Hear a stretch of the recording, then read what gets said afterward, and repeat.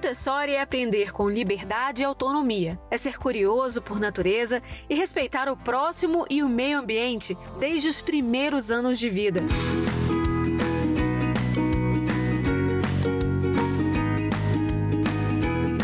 Ser Montessori também é se desenvolver com o melhor método de ensino do mundo, unindo tradição e tecnologia.